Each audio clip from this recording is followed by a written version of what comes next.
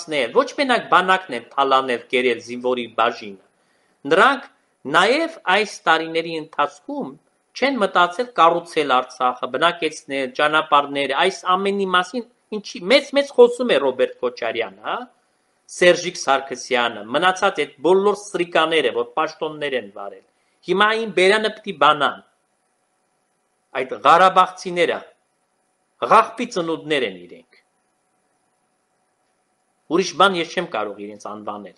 որովհետև նրանք արել են ամենամեծ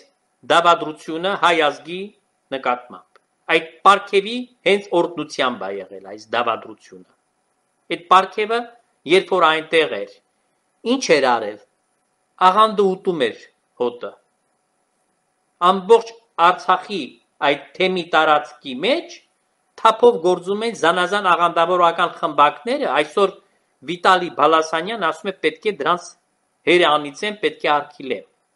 Հա, ուրեմն իրանք արդեն իսկ վկայում են, որքան է այնտեղ զորացել աղանդավորական, ուրեմն այդ շարժումը։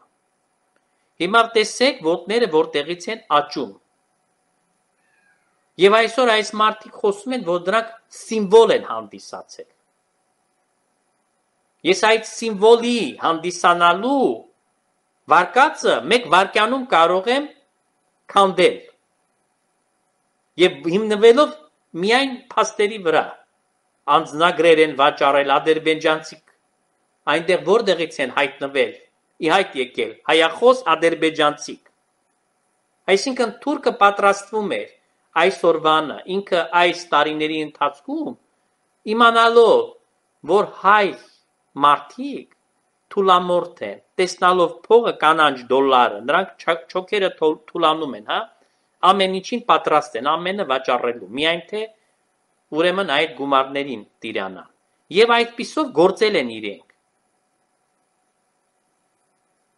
Ուրեմն ես ինչի խորացա այս թեմայի մեջ, երբ որ մենք խոսեցինք այս խայտարակություններին անդրադառնալով պետական այրերը ինչի են հասել այսօրի։ Կուզեմ ձեզ հասկացնել, սիրելի ժողովուրդ, առանց եկեղեցին մաքրելու, ես 100-րդ անգամն եմ երևի նույն բանը ձեզ ասում, անձանց զույթ եմ ասում այս բանը, որտեղ ձեր գլուխը դա չի մտնում։ Դուք չեք հասկանում երևի իմ ասածը։ Ես բայց անգլերեն չեմ խոսում, ճապոներեն չեմ խոսում, գերմաներեն չեմ խոսում, ես խոսում եմ հայերեն լեզվով։ Ձեր մայրենի լեզվով եմ խոսում։ Ես ձեզ փաստերով եմ ապացուցում, որ եկեղեցին ինչ մեծ դեր է խաղում այս ամենի մեջ։ Նույնիսկ սա երևացող մասն է, հա, մենք խոսում ենք ընդամենը հիմա այդ կառույցի մասին։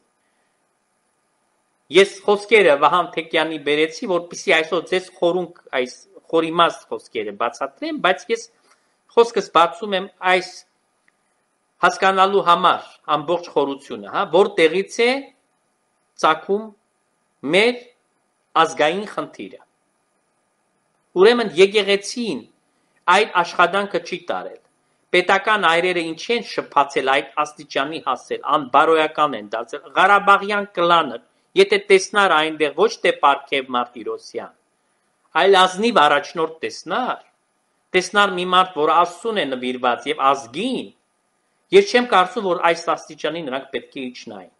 Եվ առաջնորդն էլ եթե այնտեղ չլիներ հարբեցող, այլասերած մեկը, հա, ընտանիք ունեցող, անշուշտ ինքը չէր կարող կկարողանար այն ժամանակ իրենց ձերքից բռնել եւ իրենց իրենց տեղը ցույց տալ, որ դրանք իրավունք չունեն այսպիսի թալան տոտալ թալանով զբաղվեն։ Յուրացրել են միլիարդավոր դոլարներ են դրանք այս տարիների ընթացքում ինչքան եղել են դրա համահավաքներ։ Հիշեք անընդհատ Արցախը սպեկուլյացիայի առարկա է։ Այսինքն շահարկվում էր այս բանը, բայց իրենց փողը ուր էր գնում, այդ փողը, որ նրանք ժողովում էին, հա, անընդհատ այդ դրամա հավաք էր։ Ես չեմ հասկանում, ապուշեն այս մարդիկ, որ դրամ են տալիս արտասահմանում։ Ապուշեն այս մարդիկ, այս մեծահարուստները հիմար են, ես չեմ հասկանում, իրենց մոտ միթե այդքան տկար է խելքը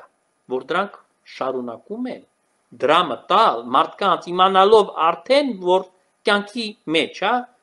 դա երևացել է, որ այդ փողը հապշտակվել է։ Նպատակին երբեք չի ծառայել։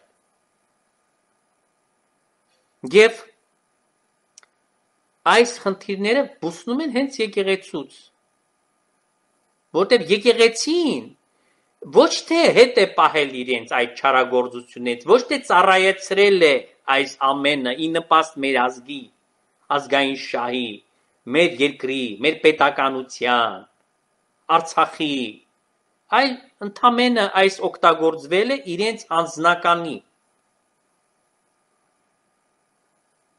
Ուրեմն առանց այդ փոփոխության, այսինքն ես ինչի երբ որ ձեզ միշտ ասում եմ, ես ոչ թե դրա մեջ ինքս անձամբ ունեմ շահագրգռվածություն եւ իմ ինչ որ շահերին կուգա, հա, որ ես ձեզ կասեմ, որ Գարեգին Ստահակին պետք է հանենք շպրտենք զիբիլի վեդրոն։ Ինչի եմ ես դա ձեզ ասում։ Ես ասում եմ ձեր շահերից ելնելով, ես ասում եմ դա այն բանի համար, որովհետեւ դուք հասկանաք, որ այսօր Հայաստանը կանգնած է կործանման եզրին այսօրվա Հայաստանի մեջ տեղի ունեցածը եւ ես լսեցի, որ արդեն իսկ իշխանությունը ձեռ է քաշել արտահայտ ընտրություններին չեն ուզում գնալ։ Այսինքն տեսնալով այս բոլոր երևույթները ես միակ գնահատականը կարող եմ տալ, որ փակուղի ենք մտել։ Մի փակուղում եղել ենք, հիմա էլ մի փակուղուց մի որոշ ժամանակ մենք մտածել ենք, որ այդ վերջը լույսը երևացել է, այսպես ասած, թունելի վերջում, բայց հիմա նորից մտնում ենք փակուղի։ Եթե չփոխենք այսօրվա կաթողիկոս կոչեցյալին եւ չդնենք այնտեղ ազնիվ մարդ, հա, ժամանակավոր, ասեց երկու տարով տեղապահենք ուզում ունենալ։ Ուրեմն այս հարցերը չեն լուծվի, մինչև չառողջանա եկեղեցին, որը այսօր ի վիճակի է բազմատիվ հարցեր լուծել, որը ձեր այս երկրավոր ժամանակավոր կյանքի համար անհրաժեշտ են։ Այն ծրագրերը, որոնց մասին ես խոսել եմ, ընդ որում նաև և սոցիալական ծրագրերի մասին։ Այս ամենը հնարավոր է իրականացնել ունենալով ազնիվ եկեղեցի։ Այսինքն, եկեղեցու հովապետը այս պահին այդ ստահակին հանելով մենք բերում ենք տեղապահ, որը ժամանակավոր երկու տարով պետք է ցույց տա իր աշխատանքը։ Այդ ժամանակ պետության մեջ էլ վիճակը կփոխվի։ Այսինքն մեկը պետք է լինի, որ բռնի, հա, պետական այրերի ձեռքից։ Օրինակ ծառայի իրենց համար։ Այլ ոչ թե նա կանանչ լույս վարի, որ աղանդները բուսնեն, հա,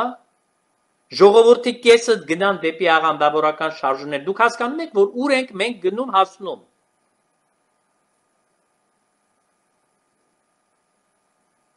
Եվ գալով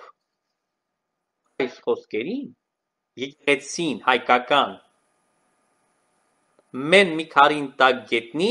դեպի երկինք բարձրացող գախնի ճամփամը ունի այս կառույցը որ ասեցի զուտ ֆիզիկական կառույց չէ սա խորհրդավոր մարմինն է խորթական մարմինն է մեր Տեր Հիսուս Քրիստոսի, մեր փրկչի այն կառույցն է հավիտենական, որը տալիս է հնարավորություն մարդուն արժանանալ հավիտենականության, ընդունել հավիտենական կյանքը, հոգևոր փրկություն, այսինքն առաջնային դերը, ինչ որ եկեղեցին պետք է անի։ Նախ բերել հայ մարդուն դեպի եկեղեցի։ Քարոզել Սուրբ Ավետարանը։ Ես ասեցի, երեք ճանապարհներ, հիմնական ճանապարհներ են, որոնք այսօր կօգնեն մեր ժողովրդին վերադարձնել դեպի Մայր եկեղեցին։ Սա նախ եւ առաջ քարոշչությունն է, եկեղեցականների վարքը եւ սոցիալական ծառայությունը։ Այս երեք բաղադրիչները, այս երեք գործողությունները, եթե գործեն մեկտեղ, մենք կունենանք իսկապես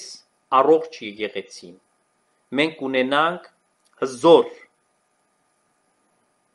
հայ ժողովուրդ։